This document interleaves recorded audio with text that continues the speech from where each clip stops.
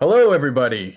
Thanks very much for joining us. I'm here with Brent Alvey of uh, Complete K9 Care and Fallen Star Bloodlines. So, Brent is a trainer. You are what? A national levels IGP helper, and you're also a breeder of Malinois. So, we're going to get into all of that. Brent uh, is also a friend of mine. We've known each other now for what? About probably, I guess we've been working together about five years. And then Yeah, uh, been a while. I think I met you probably about eight years ago at a at a seminar, and and we'll get into that because I want to talk about my first uh, my first meeting with your boy Rex. I think I still have the video. You sure do. Uh, is there anything that I missed that people need to know about you before we kick off? Uh, no, that's it. No, um, complete canine care is all of our uh, our main stuff, doing the uh, behavior modification, obedience, and just everything with pets. And then our Fallen Star Bloodline is always our breeding program, aimed for um, you know, police dogs and dogs that can compete in any um, sport application, as well as you know, some are good for some pets as well. So today our conversation I think is gonna is gonna focus mainly on the breeding side of things. We've done uh, if anybody's interested, we've done some some training conversations in the past, some more kind of just general working dog conversations. We did a podcast a while back with uh, Rod Petrovic of Viking Canine Canada as well. So there's some other stuff there if if you guys are more interested in the the training side of things. But today for anybody who's really interested in breeding, I think that's what we want to focus on. Both Brent and I are working dog breeders, um, and that for me is is our main focus. And for Brent, uh, I know you're you're more focused sort of on the training side, and then you also have a, a big focus on the the breeding as well. The first thing that I wanted to to talk to you about is you like a different kind of dog. The dogs that uh, that I know that you've owned are not the typical dog that even your average working dog handler would uh, would own. So tell us a little bit to start out with about your preferred style of dog. Yeah, yeah, absolutely. Um, where to start? Uh, for me, I like I like a dog that's gonna um, make you regret having him on some days when you're not up to it. Uh, I like a dog that's a little bit challenging, um, is strong character. So uh, for me, I, I, I like a, a, larger size Malinois, a bigger body. So weight wise, it'd be the easiest way to describe, you know, an 80 to 90 pound Mal that is athletic. You can't be um, a cow and not be able to jump. You know, I want them to be able to do a six foot wall, such as in the KNPV program, to do that um, in the long jump. I want them to be athletic, but I want a larger dog. I prefer more quote unquote a man stopper type dog. Um, it's not for everyone. Um, it's just what I personally like as a dog.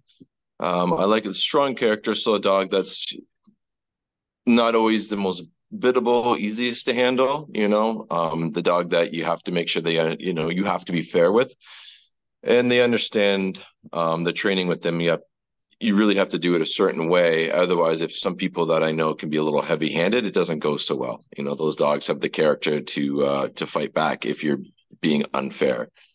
So you have to be fair in your training, which in turn makes you a more skilled handler as well as the the big thing I like is a big grip. You know, I like a, a dog that comes out naturally biting, very very full, very very hard, very very strong pushing grips naturally. That's a characteristic I like. I, I like a dog that's confident everywhere it goes. So environmentally, you know, slippery floor, stairs, dark, anything like that. I want it to feel very comfortable there. Um, I, I, I want a good hunt drive. You know, I want kind of everything that you'd want in, in a we'll just say a police working dog and of course you know you're going to have variations of that. So if you're picking your own dog you're going to have to do the plus and the minuses of each individual dog. But for me you know that's just a very strong character dog. It's not always the best type of dog to make you look real really really good like you know what you're doing because some of those dogs that are real biddable and you're just like hey don't do that. And they're like okay no problem. I'll never do that again. You know those dogs you can really make good videos of and show how good you are for training and are probably the best high level sport but for me i've had some and i just get so bored. I just get so bored and i'm like well that was easy. What next? You know? And um, i just like a dog with a little bit of spice to it. And uh, i don't know why. I don't know why but i just enjoy it. it it gets me excited. Um, you you see them working and they have this they go to 11 you know? Most dogs that go to 10 they go they go to 11 they have this little extra gear especially when there's more of a fight in the um, working dog aspect they they just turn up more in volume. They like it. And that's what i really like and that's what i like to own and that's what i look for in a breeding dog as well even if it's something i don't own because it's overseas. That's what i'd be looking for in a potential stud or female um, down the road so let's talk. Let's talk Rex for for a second. Um, Rex being, um, I guess, you're kind of. I, am not going to say first ever dog along those lines, but certain certainly the one that I guess got you better known, uh, you know, online, and, and the one that uh, I came to know you uh, as having. And and Rex's son, Soul Eater. So for those of you who may have seen a previous podcast that we did uh, with Rod, Soul Eater is being paired with, uh, yeah, he's uh, behind Brent right now. You can see his head poking out there in the picture behind Brent. Soul Eater is is a son of Rex and has been paired with uh, our girl Indy uh, Van Tiekerhoek, um, and that's going to be a mixed uh, herder litter, which is Malinois German Shepherd cross. We'll get into that in a little bit as well, but just to keep it sort of in in that line, let's talk Rex. And and my my first impression of you uh, when I first met you, it was uh, the first time that I'd ever put on a bite suit. Again, this is I'm guess going back eight years now. Um, seminar put on by Haas at Shield Canine uh, and Canine Mike Mike Nesbitt from Grassroots Canine. Uh, you came along. You brought Rex with you, and I had never taken a leg bite before. I didn't even really know what a leg bite was at that point in time. And this whole seminar, we'd been taught, you know, when the dog bites you, the way you mark the proper bite is by screaming. And I'm thinking to myself, okay, I've got all this, you know, information in my head about, okay, the dog's going to bite me. And I've got to remember to get my timing right on the screen. Well, it turns out that I didn't have to think about a thing because the scream that came out of me was was completely natural and uh and and as you said it's on video. It's out there yeah. somewhere. You might even still have it. Uh, yeah. I can't, I can't I would never let that go. I, I, can't say it's my my proudest moment as a budding decoy. Um but uh you know I I can say that after that I took dozens probably hundreds of other bites from Rex and and it never hurt any less but the surprise wasn't quite the same after that that very first time. I kind of would describe Rex, and I have done before, as a, a, a tiger on a leash. Yep. Um, yeah. but that being said, you know the thing that I found really interesting about him was that uh, you know a lot of people would think about a dog like that that that is that aggressive and has that level of power and would think of them as being kind of a chaotic nerve bag type of dog and Rex was the exact opposite of that. He always struck me as being just workmanlike in his mm. uh, in, in, his biting and in his work in his work. Um, he he never came across like he was never a scary dog to work. He was always a dog that you kind of knew what he was going to do, and he was very clear in everything that he did, which I always found to be a very unique combination in a in a dog. So maybe tell us a bit about Rex and and what it was like kind of learning how to handle a dog like that. You mentioned a little bit before about how you have to be fair in your training. Go into a bit of detail about maybe the consequences of not being fair in your training, where that kind of where that plays in in those bloodlines because I do want to start getting into a little bit more about those specific KNPV bloodlines and you know where you find those. Yeah, that's a lot to unravel there. Um, so Rex was actually my first Mal. Um, I have Kick Ass, who's a Mal Bulldog mix, but Rex is my first Mal. And what I was doing was actually looking for a dog I could put to her eventually. But I was, you know, it took me about a year or two looking everywhere to find a dog that, you know, caught my attention. You know, just had a certain look about it, a certain way it worked, you know. And I was looking and looking, and I was looking in Holland and whatnot from what I knew over there at the time and nothing really stood out to me. You know, I seen all those those crazy KNPV stick attacks, and I'm like, that's cool, but I didn't have that extraness. And then I saw Rex one day, and I was like, that's the dog. That is the dog. I just that you know, you just see it and you know. And so I originally wanted to breed him to Rex to try to get something in, in the future, and eventually I just asked if I could buy him. And the guy was like, "Yep." So we agreed on a price and everything. So I uh, had a friend Ian come with me, and we drove down to the states to get him. And um, I didn't know dogs like this existed at the time. You know, I uh, got out of the car and we went down to the kennel where Rex was, and he was about 100, 200 feet away from us. And he looked at me and, and well, us, and he scared the shit out of me. I said, "Well, definitely made me do a double step back. I did a double step back, and I was like, "Holy shit, what is that?" I've I never seen just, a dog. You just hit on something really important there that I think people should keep in mind as we talk about this. Hmm. Most people, and maybe a little different on this feed because we do have some more experienced working dog handlers, but the vast majority of pet owners don't know that dogs like this actually exist in the world. I didn't know, that's for sure. Blind spot. You were a working dog handler already and you didn't know.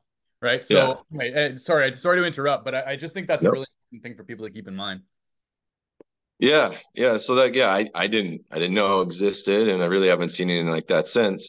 So I, you know, I did a double step back. He just had this presence about him where as a person, you know, you could be, we'll say, for instance, like in a bar and someone walks in and you have your back to them and you feel really uncomfortable that someone came in and everyone's like gets quiet and uncomfortable and that person doesn't say anything. They just have that presence or that aurora about them and um, that's what he had and i didn't know that uh, that existed. And so you know i went down to the kennel and everything and i'm like look i see this dog.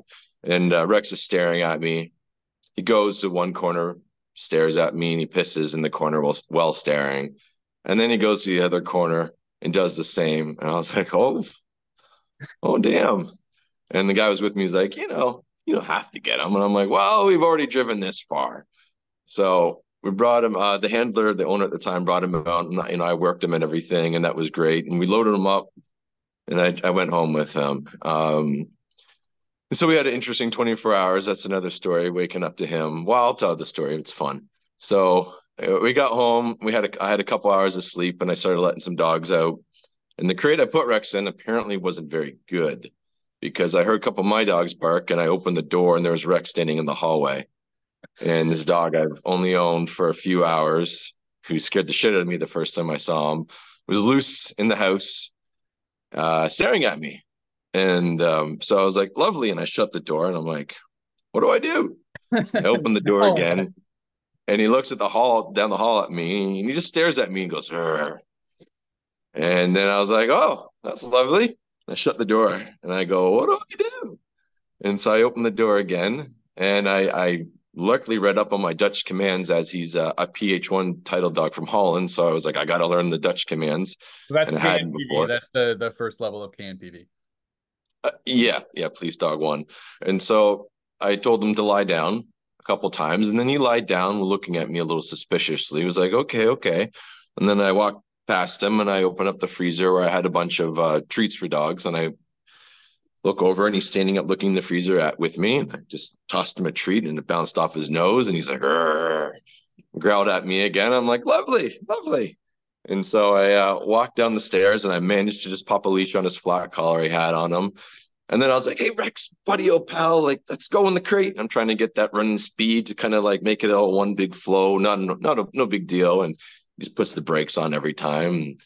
And a couple times walking past there, I had an IPO sleeve down there. The one I didn't use, I I got it. It was as hard as a rock, like it was. I would never use it. And for some reason, he smelt that and he just boom grabbed the back barrel of it, you know, where you don't bite, and just swallowed the whole thing with a full grip, and then was walking around. And I'm like, shit, is he like one of those dogs that goes into work mode and is like crazy now? You know, becomes a little bit unstable because of previous training or something.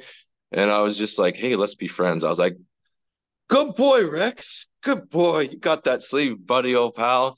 And um, I asked him to out a couple times, and then I, I, managed to get him in his crate. And I think that took a couple years off my life, and uh, I'll never forget that. So uh, that was my first experience with him on my own, and I was like, okay, well, we're gonna go for a big walk after that. So that's how we started a relationship. Was just you know, the first two weeks was just go for an hour walk every morning, just on his flat. I didn't even use any other collars. I just wanted to build a relationship with him. And he was a very, very fair dog. Um, you know, if you were being unfair, he would let you know. Um, as what would he do to let you know? How would you how would you know that you were being unfair?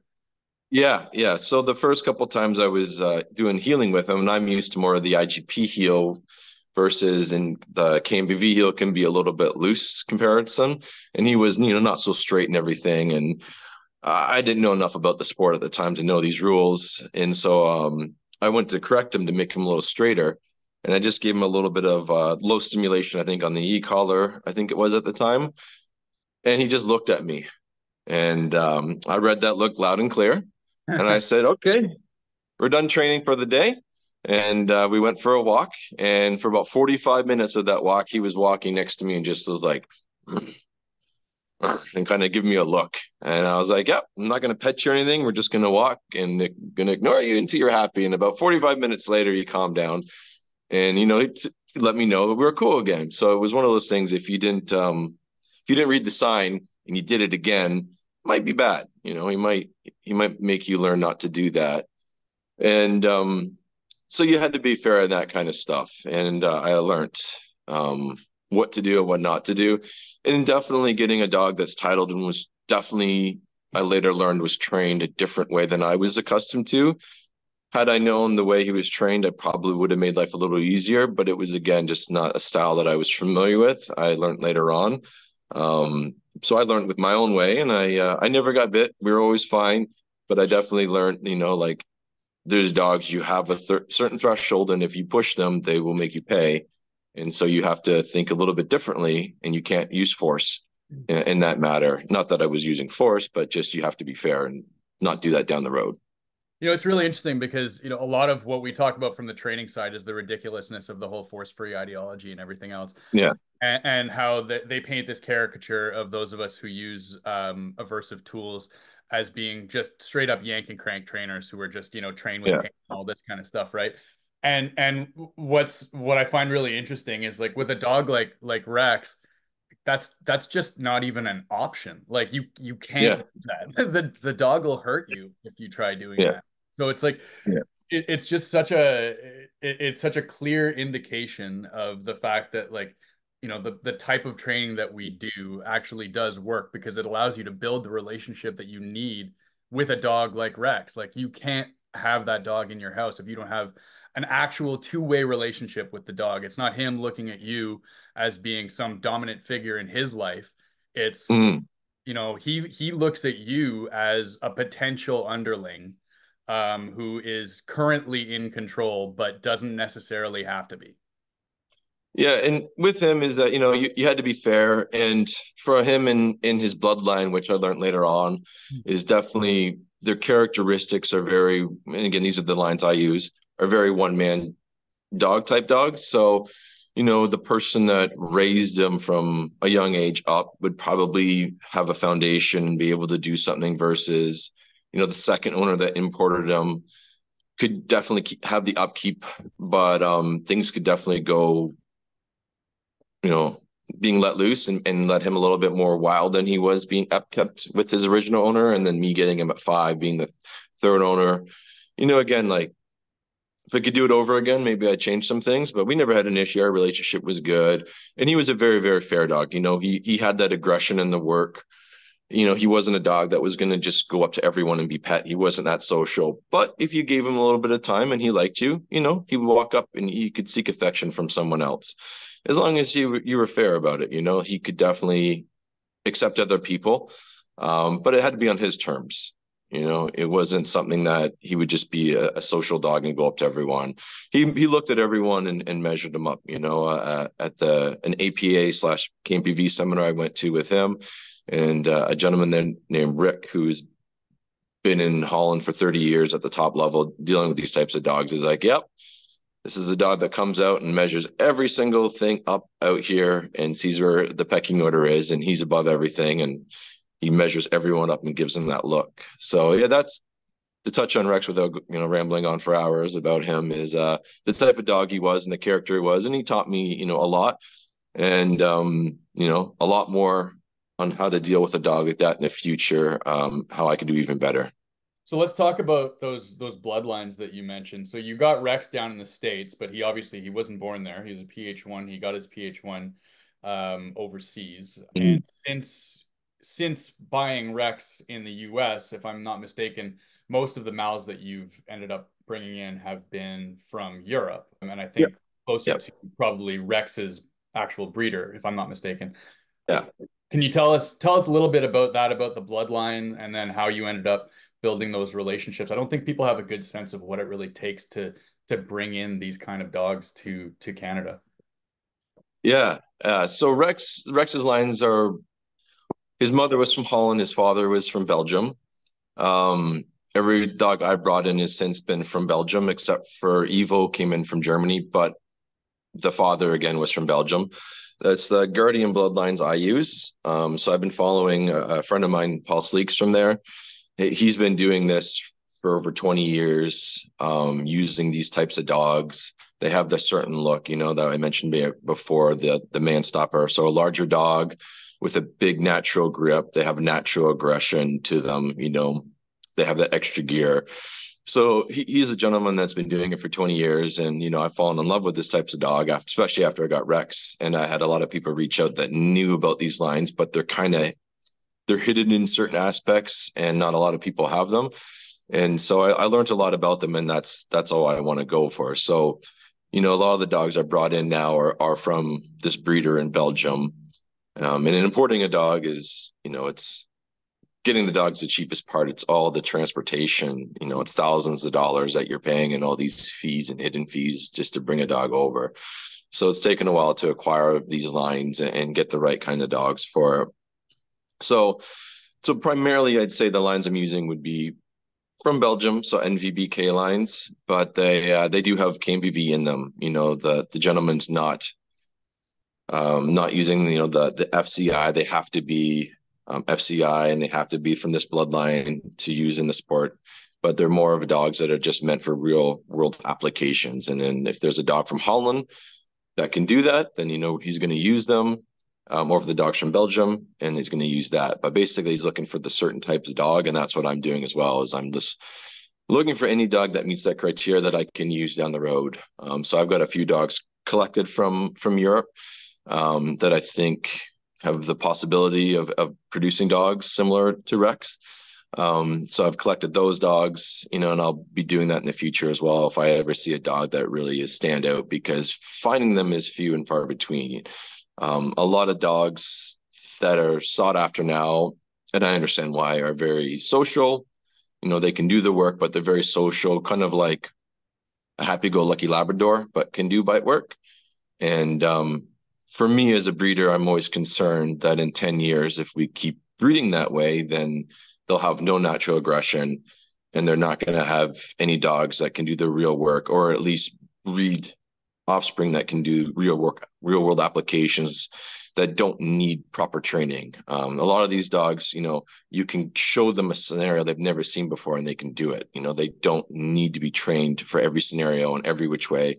They're just able to do any work that you throw at them without proper, you know, quote unquote training to show them all scenarios. They just do it all because they have that natural aggression and character and dominance to them to be able to do it. Um, I think so, yeah. the, same, uh, the same concern exists in the in the German Shepherd world with regards to the overall softening uh, of the breed. I think um, it would be it's important to to mention with the type of bloodlines that you have. These aren't bloodlines that you're going to find um, AKC registered or CKC no. registered. Um, these are tell me if i'm if i'm thinking about this the right way because i'm honestly not sure that i am but the way that i see it I equate the breeders that that breed these types of bloodlines more to uh, bulldog breeders where the the pedigree is held with the breeder. There's less focus on purity purity um, where yeah. you know your bloodlines there's german shepherd in there back there somewhere. There's dutchy in there back there somewhere. There's definitely you know, dutchy yeah yeah, so I don't know if there's German Shepherd or not, but there's something other than Malinois in there because they're 90 pounds, um, 80 or 90 pounds. Uh, and so it's less about in the in the German Shepherd world, the, there's a real purity, desire for purity, I guess. Uh, yeah. certain to a certain extent to the detriment of the breed's working ability, I would argue. Yeah. On your Absolutely. side, the there is less of that focus on purity, more of a focus on creating dogs that can do the job that they're needed for. And that yes. is held more with the breeder than with any kennel club. Is that a fair assessment? Yeah, absolutely, absolutely. For me, you know, I my goal in breeding is to have a litter and be happy enough that I would want to take something out of it personally for myself. That's my goal. And if people like the dogs I breed, you know, they're welcome to to purchase one for it.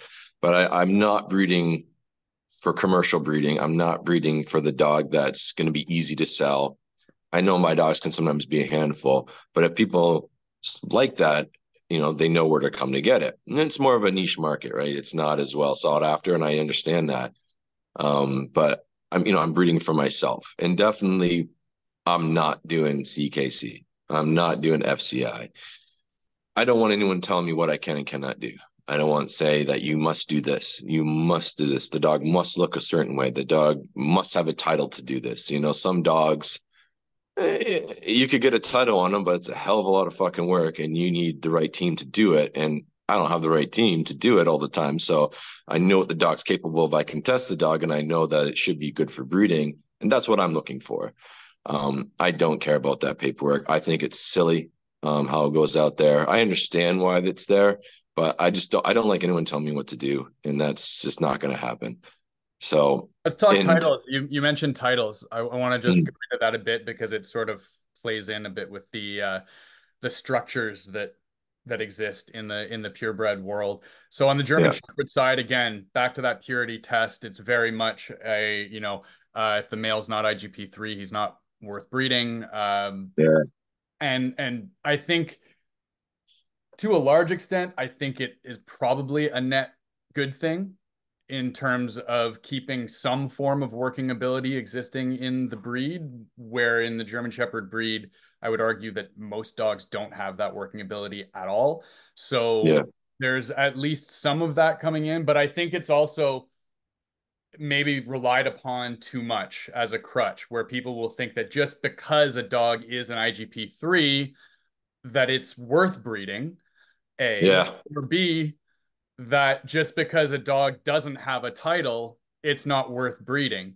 So my way of looking at it is that genetics are what makes the dog. The handler titles the dog, and the yep. title doesn't make a good dog. It's just a title no.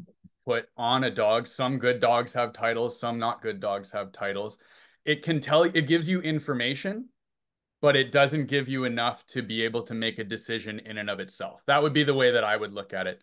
Um, we're breeding Soul Eater, who is not a titled dog, to Indy, who is she has a BH, not a title, but she could be titled without a doubt. Yep.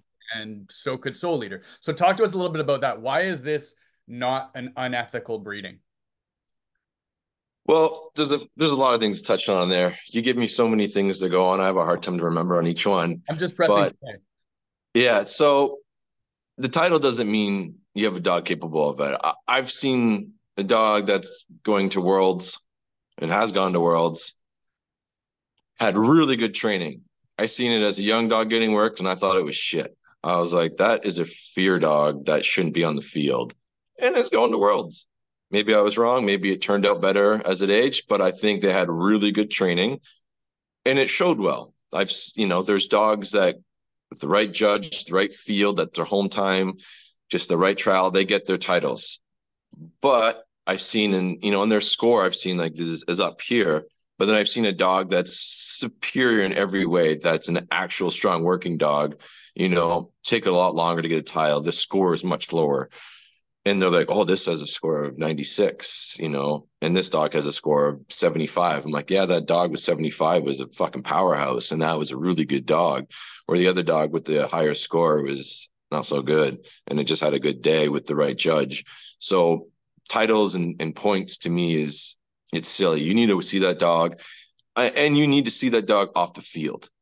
You can have a dog that's really good doing its routine, bring it into a warehouse and do some work on there, even if it's still IPO sleeve work, but just make it somewhere it's uncomfortable and see how it works.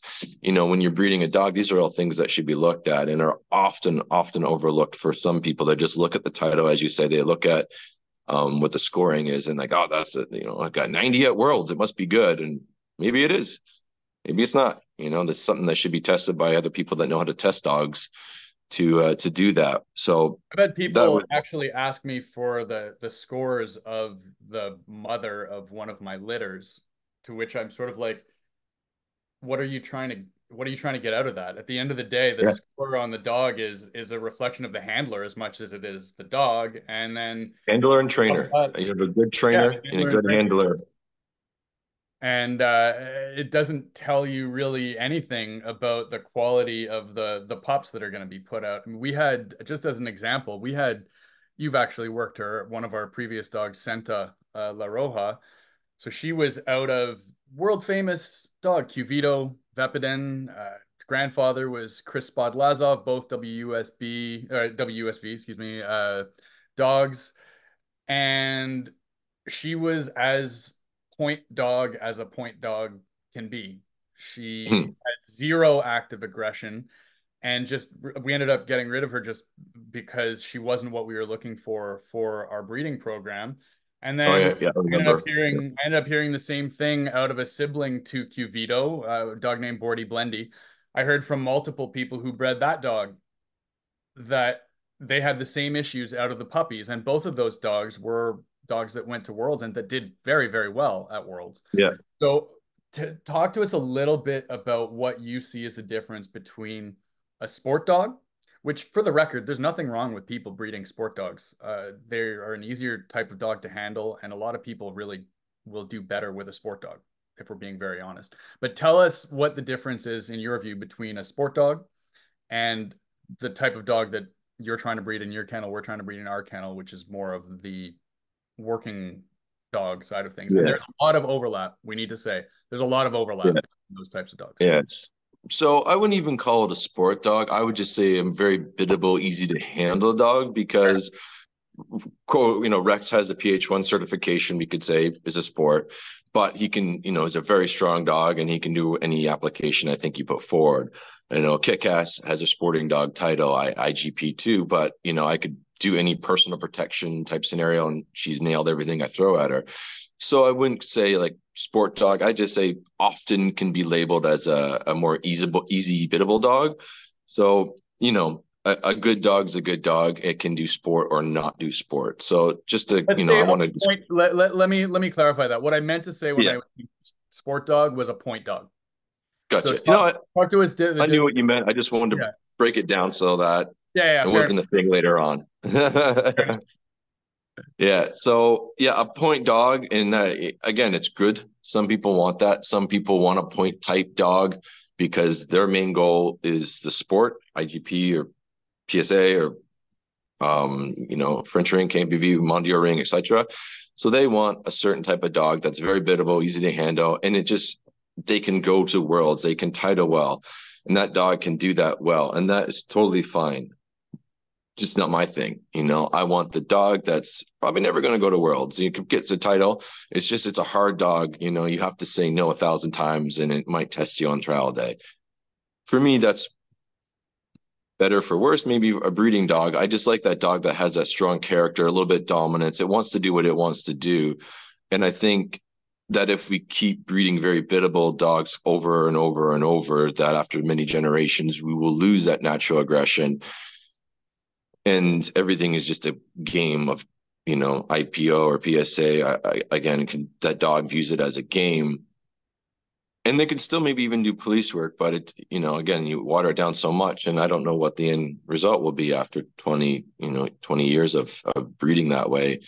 And so I think that you need to bring in some dogs that have that extra spice, that extra character, that are maybe not always going to be good on the field because no matter what, they give you the finger on trial day and those dogs usually usually are able to produce dogs that are able to do real world applications that can still do sport and everything like that with the right training but if you have your bar set high it's easy to even if your litter doesn't come out exactly how you want it they're still really good and th- but even if they surpass him, then that's even better. But if you start with your dogs down here, a quote unquote point dog, and they get even worse, then you know where does that go? They might get a little bit better, and that's good too. Dogs with the active aggression coming out of the, Yeah. dog nearly as uh, it's what we always say. Breeding dogs is a trip to the canine casino. We're always gambling Yeah. in one way or another. Yeah. What we're trying to do really is minimize the range of outcomes. And the way we minimize that range of outcomes, I look at breeding as always a deleterious process. So you're all you're almost always going to come out with a little bit less than the dogs that went in. Some dogs are Hmm. going to come out some dogs are going to come out even. The occasional one is going to come out better. And most are going to come out a little bit a little bit less than. Yeah, And equal so- to or less than. Yeah, Yeah. And so I would uh, in in my view the dog that is good for breeding for the breed is not necessarily always the dog that is good to own. yeah, uh, the average person and most of the time the dog that is good to own is not worth breeding. I think those are are fairly true statements. yeah. I- think of- they are, and and what your goal is too. depending on what your goal is. If you're trying to be Yeah. breed pet dogs, Yeah. Then you shouldn't be breeding German Shepherds or Malinois. Yeah, and I think with like the touch on the German Shepherd that you went on earlier again is is they're looking at scores, they're looking at the title, which to me doesn't mean anything. And, and some sports like IGP keep getting a little easier all the time with every new name change, or they keep changing stuff to make it easier. Um, which I don't think they should, right? We should have a standard, and that should be it. We shouldn't make it easier to get titles. We should make it harder to get titles so that we can get the dogs that can do all the athletics parts of it that we can we need them to do and do everything else. Like rem- removing the stick hit in igp has kind of really left me sour. You know me as a decoy that's where i was really able to show the difference in 10 dogs that are lined up is where i can put pressure on them. Some people have other parts they're really good at. For me that's where i felt i shined was when i did my drive. I could put that pressure on the dog with my stick and giving them the stick hits. You know i've seen dogs run off the field when i do it. Some dogs really change their grip and show they're insecure and some dogs kind of growl at me and go oh you want to fight? You want to do it more right? And i'm like that dog that's biting harder and kind of gives me that mm, like not a nervy growl but like okay the game is on. You know that's that's the stud dog for me. That's the dog i'm looking for that's bringing out that power. When i apply pressure to it it fights back harder. Versus the ones that let go run away or just their grips change or some that are like you know you've just been really conditioned but they don't have the heart in it. And removing the stick is definitely for me made it harder for someone to judge a dog um, if it's good or not for for breeding in that particular sport. So you know that's another thing with that particular sport and that's what primarily german shepherds are in. Um, will definitely water down what you're seeing and what you're picking from I think that that's actually part of what. So you're actually the the person who introduced me to the Tiekerhook bloodlines that we've now Yeah. had the the very good fortune of of taking on uh, from Tiekerhook out of Holland. And from what I remember, that was one of the things that had impressed you. You'd either seen them or you had worked them, and that, Yeah, that there was one I had worked, and I just remember hearing into the blind. He was young dog, and he was just like, "Rah, rah, rah, rah, rah," like just jumping, barking at my face. And I, I got the feeling from him, like if I f- had flinched, he might have grabbed my arm or something. I'm like I like him, you know. He had a little, a little umph to him. He just had a lot of drive, and he had a lot of it seemed like natural aggression. And he's a dog that you could put into something else besides IPO you, or IGP. You you could do your KNPV with that kind of dog. You could do a, a PSA with that kind of dog. You could do police work, real world applications with that dog. It was different. It was different, and I liked it. And so I was like, when you asked me about German Shepherds, I'm like, I worked one I really liked, and that was him. Yeah, and that set me off on the whole path. I went and uh, found out everything I could about the bloodline, fell in love with it for the exact same reasons, and here we are today, three Yeah. years later, and we've brought in almost their entire breeding stock to Canada now, which is uh, really good. Yeah, it's nice to know that we're going to have some solid German Shepherds in Canada for at least a little bit longer, if nothing else. Yeah. I'm going to move on to something that is, again, we talk purity tests. We've been talking purity tests for a little while now. One of the big ones is health testing. And yeah. talk a little bit about that because what I want to get out right away, right up front, and you and I both, I think, are on the exact same page on this. A healthy dog is paramount in terms of the fact that we want to breed working dogs, and a dog that's not healthy is not going to work well. Mm-hmm. I think where things might break down is in the areas of focus, where people look and what people choose to keep out of the gene pool and why. And so I I want to get your thoughts on health testing, important mm-hmm. or not important, and how does it factor into your breeding decisions? It's a touchy subject, touchy subject for some people. Um, I mean, having a healthy dog is obviously most important. It, not most important, but it is important. That being said, X-rays are like something that every that is always done. You know, I've done them and it's fine. But if you have a dog like Rex, we'll say, and say his one elbow is not perfect, do you throw that away? Because you I can't find another one, or do you breed them to, we'll say, a female that is perfect X-rays, and then you check the X-rays of all their puppies, and they're all perfect. Well, then it wasn't genetic, you know. And often, I have friends over in Europe that deal with a lot more Malinois in uh, in Holland and that, and you know they've been doing their X-rays for years, and the dogs that don't pass X-rays don't get bred but still four generations later, six generation, or multiple generations later, they have a dog that still doesn't pass an X-ray. So if it was just genetic only, then they those other all the dogs should pass. You know, if you're four or five generations deep with perfect X-rays, and then a litter has two that don't, maybe that's not really the that's not really showing you everything. Um, so sometimes some dogs that are very very good are overlooked because of something didn't pass, even though their offspring pass. You I I've been on some breeding forums before, and I I try to stay away from forums because it's they're silly, but there is some good information. And I I seen someone that was breeding Newfies, and they had two perfect parents, and eight out of the ten dogs had dysplasia of some sort, even though the parents were perfect. And then they bred one dog that had like mild in the elbow, and all puppies were perfect. Shouldn't happen like that, right? If it was if it was a, a perfect science, it would never happen like that but I, I keep seeing it's not. It's not a perfect science. So yes, I, I do check, but if the dog is a, a tier, you know, tier one dog, showstopper, a Rex dog, and something's not perfect, I would still use him. I would just let people know, hey, this is him. I did an X-ray. This is the results. I don't know if it's environmental or from birth. I don't think it's from birth. I think it may be something else, but um, this is it. And I'm letting you know beforehand because I think he's worth breeding. And so as long as I'm honest and upfront about it, I think that's very fair. And if all the puppies have the same issue, well then okay, maybe we don't breed him again. But if none of the puppies have the issue, well then obviously it wasn't a genetic thing. And um, I, I know a dog in Holland I was very interested in, and apparently his X-ray was not good, but he was bred before that twice, and all the puppies from, from both litters are perfect and you know, and he wasn't. So I don't know. It's a it's a if science was perfect, we'd have an exact answer. But you got a lot of people that will look up their nose at everyone else if they haven't done the exact same testing they have done, even if again some dogs that are being bred are maybe healthy, but I think they're not very good. I think that they're a nice pet that I would own, but not a working dog.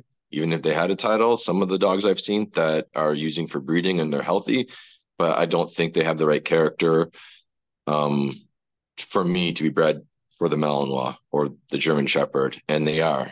And you know, sometimes some people are really good at social media, and some good people are really good at talking, and they sell these dogs um, very easily. It's not my strong shoot. Shoot um, social media, uh, and being on camera is not my strong suit. So you know, something I'm working on. But uh, you know that some dogs I have that I thought is a pet quality dog, and I don't think it's that good is better than the dogs that are being bred I've seen. I think the way to think about it is that it's one factor among many other factors.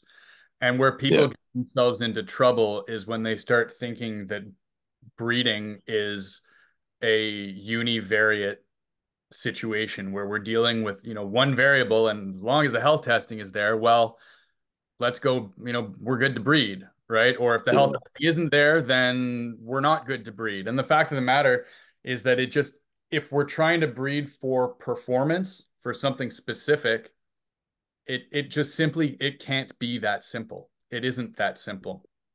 And uh, so I think the important thing is that, as you said, the X-rays are being done. It's not a Mm. matter of of doing it uh, going into it blind. Uh, Soul Eater's had his his X-rays done. He's fine. It's not Mm. a matter of of going into it blind and not knowing, you know, closing our eyes and plugging our ears and la la la la la. We're just going to stick two dogs together and hope everything turns out okay Yeah. want to have as much information as you possibly can. If there's something wrong with the dog, whether genetic or not, you want to know about it because you want to be able to factor that into any decision that you're making. It just can't be as simple as this is one thing that isn't right, where a hundred other factors are right. Some of Yeah. them being even more rare like the temperament that you're that specific temperament that you're looking for is incredibly mm. rare and it doesn't come about Tell me about it.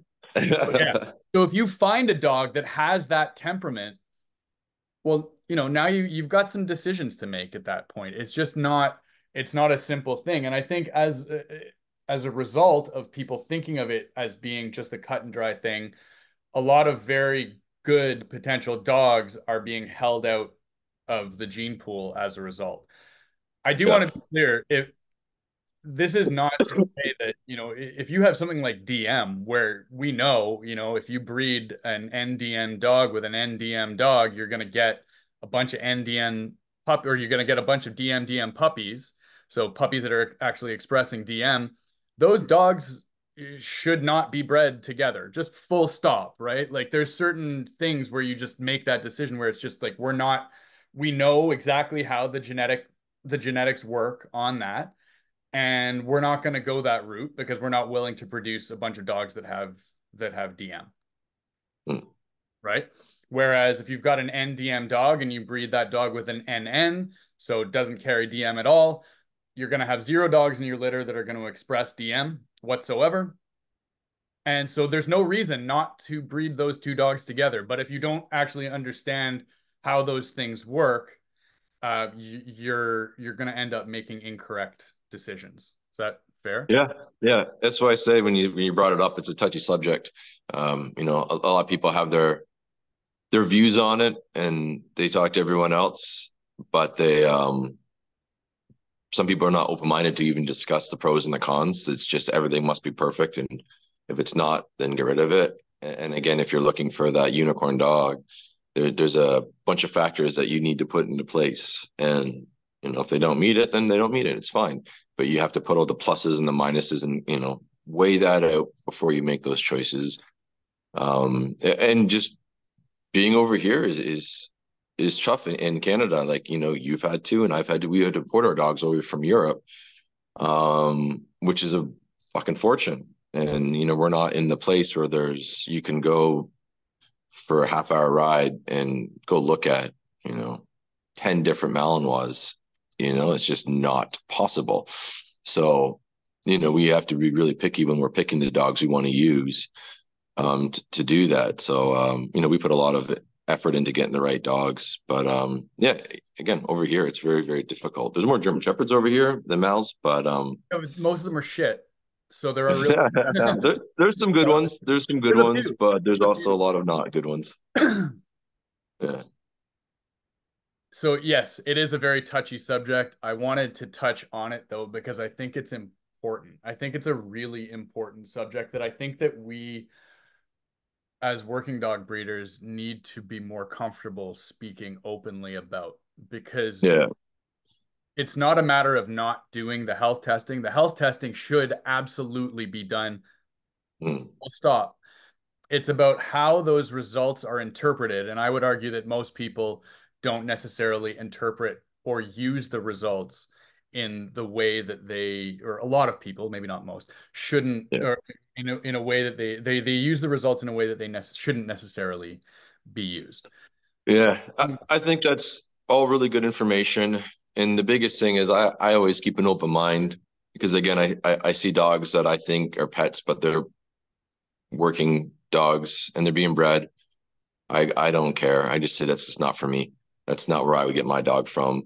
And if someone's looking for like a maybe a, a drivey pet, maybe I refer to them. You know, I'm not opposed to that. Everything has its place. It's just there's a lot of people out there that if they're not breeding the type of dog that they believe in, they shit talk everyone, and that's just something I'm not going to do. So I think that's a good takeaway is that we, you know, you do everything, but you need to have open conversations with every other people, um, and not be so quick to jump to um, you know what they believe is the right dog. It should be an open conversation and go back and forth an open dialogue I, I, think is definitely what we're doing now talking about these dogs is, is often seen if you look online is those dogs are shit those dogs are shit and but you know there's a maybe a good place for them. Yeah no i i completely agree. The open conversation when it comes to that is key. I can't think of a post that i put up online that got me more hate than the one that I put up that said that if the first thing that you're looking that you're looking at when seeking a working dog is their health test, then you're looking at the wrong thing first, or something along what those. I say touchy I, subject. I, I, I, worded it a lot more uh, gracefully uh, in my post, but yeah, yeah, we got a ton of hate. It was it was really misunderstood because it's yeah. not to say that it doesn't matter at all. It's to say that when you're looking for a working dog, there are a lot of things to consider. One of those things is health testing. But if yeah. the other things aren't there, then the health testing doesn't really matter. And if everything else is there and the health testing isn't 100% perfect, well, maybe the health testing shouldn't matter as much there either if you're still going to get eight or 10 good working years out of the dog that you're buying for yeah. reasons. Let's... Yeah, again, it's always uh, pros and cons with every dog. You know, if you get a dog and he does everything perfect, but he's a little sketchy of maybe stairs, but everything else is perfect, but you can do a little bit of training with him and he's okay, then you know maybe he's he's good for for working right and, and using. It's uh you got to look at everything with the dog, the nerve, the the character, the grips, your environmentals, your recovery, your hunt. You know, there's a long list of things to go down, and you got to chalk them up to make sure it's what you want. Some people want more hunt than than other dogs. And they don't care about the grip as much. And some people want grip above all on secondary right? So these are all just pros and cons. And as a breeder you just say this is what i'm breeding for. And if you like what i'm trying to produce then these are the dogs for you. And if they're not then there's other ones that are trying to produce what you are. So i think that's the biggest thing is just being really open with what you're trying to make. And it doesn't always come out that way. You know picking a puppy is the fucking hardest most stressful thing because i'm trying to make sure the right puppy goes with the right person to make sure everyone's happy. But like a female I had in my last litter at eight weeks old wasn't biting. She was very six weeks old. She seemed very not so confident. Eight weeks old, she seemed very confident, but wasn't biting. Wouldn't bite anything. I was like, mm, maybe she's a good fun pet. At ten weeks, she's engulfing the sleeve, just full mouth. You can't get it out. She's like, oh, just eating the whole thing at ten weeks. And you know, if I had sold her at eight weeks and said, you know, she's not going to bite, she won't do anything like that and then she turns on, right? And so picking puppies is tough. You don't know what you have till about a year. And so I just let everyone know like they might change for better for worse. And I hate picking them out. I'm usually pretty good at, but that one definitely threw me a curveball. There's a lot of science in breeding for sure, but mm. it's an art, if we're being honest. It's it, it's an science that's bounded by science, is the way Stephanie and I talk about it. I call it science, art, and luck. Yeah. Yeah. The art part, I think, is where, uh, not being an artistic guy, I, I'm just going by secondhand information here. But from what I understand, you're supposed to create art for yourself, uh, yeah. not what other people are going to think. And I think that that really, when you're breeding, if if you're breeding, you're breeding the type of Mals you like. I'm breeding the type of German shepherds that I like. And at the end of the day, doing that is going to help us produce the best possible dogs that we can produce. And if other people yeah. want to buy them, even better because I don't have enough room for 25 German Shepherds. I want to talk about one last thing before we wrap, and it's Perfect. every ethical breeders all-time favorite uh, statement adopt don't shop so oh, yeah. every single uh, we're going to get them on this video like without a doubt we're going to get comments of people who aren't going to watch to this point and they're going to put something up about it. Every single video that i put up about breeding in any way ends up getting out and somebody puts up a comment stop breeding. There's enough dogs in shelters already. Adopt don't shop. So the first thing that i want to say is all of you go fuck yourselves. Where the hell do you get off coming onto our pages and telling us to stop doing the thing that we've dedicated our lives to doing? But let's put that aside for a second. Why is that just completely misguided? Their hearts are in the right place, but they don't think things through. Um, I own rescue dogs. You know, I own a three-legged dog I brought back from Egypt. You know, I still have my first dog I got from a shelter nothing wrong with adopting. Good good thing about adopting a dog is that they're probably going to be over a year old or close to. So you kind of know with what you're getting, and you just want a pet that's going to be your pet and your companion. You know, you kind of what you're in for. Its character, roughly, it's perfect. You want a dog that's been health tested. We know the lines of the dog, so we know the characters that should come out on it. If it's going to be more of a dominant dog, that's going to have a little bit of a natural aggression and that's what we want in a dog. Well we're not going to probably find that from the rescue. Really hard to find that. We want a dog with the certain characteristics we like as a dog that we want to own for the next 10 to 15 years.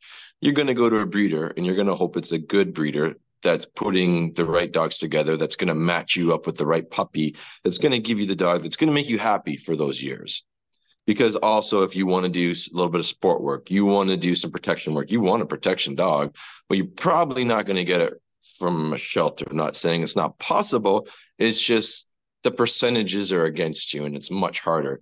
That's why people in law enforcement are not going to go to shelters constantly to get dogs even though that it can happen don't get me wrong they're going to go to a dog that's probably from a breeder or a vendor that's been raised and you know what it is. Like it's a strong dog. It's probably not the best pet. It's going to have the character that you want. So going to a breeder is essential if you want, you know, the kind of dog you want and they're going to match you up and you're going to that breeder because again, you Jamie breed the German shepherd that I like. I like that German shepherd. I like the way it works. I like the way it looks. It has all the character I want. I'm going to you because I'm not going to find that in the shelter. And even even I look around, I'm probably not going to find it. So there's nothing wrong with adopting, and there's nothing wrong from getting a breeder. Both are good, and both should be out there. And as well as any good breeder like yourself and myself, I'll take back my dog. You know, you have your dog for a bit, it's not so good. Circumstances turn against you. You lost your job, you lost your house. No problem. Bring her back. You know what I mean? Like we'll take our dogs. Our dogs don't end up in shelters, so we're not part of the problem. We're actually preventing it from failure. I honestly I can't think of a bigger failure than if I were to learn that a dog that we produced ended up in a shelter. It would I would yeah. be I would be gutted. I would probably drive to that shelter and and get that dog out myself. Yeah. Would, I've always told everyone I'll bring him back. Just let me know. And if you're having some issues, like maybe I can help you before you get there. Just exactly. be communicative. Just talk to me. so just before we wrap, let's mm. talk quickly about the Soul Eater Indy litter.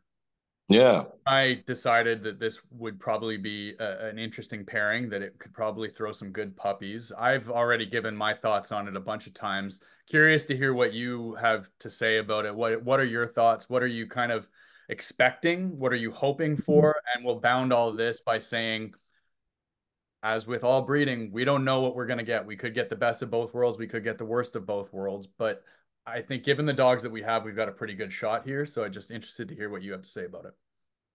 I think like in any breeding, unless they're really tight line breeding, you're gonna have your top three and then your worst three, and that will vary. I think with these, both of them are good dogs. I think you'll get a ton of drive with these dogs. So you should get drive for days. You should be getting a good natural bite, good full natural grips.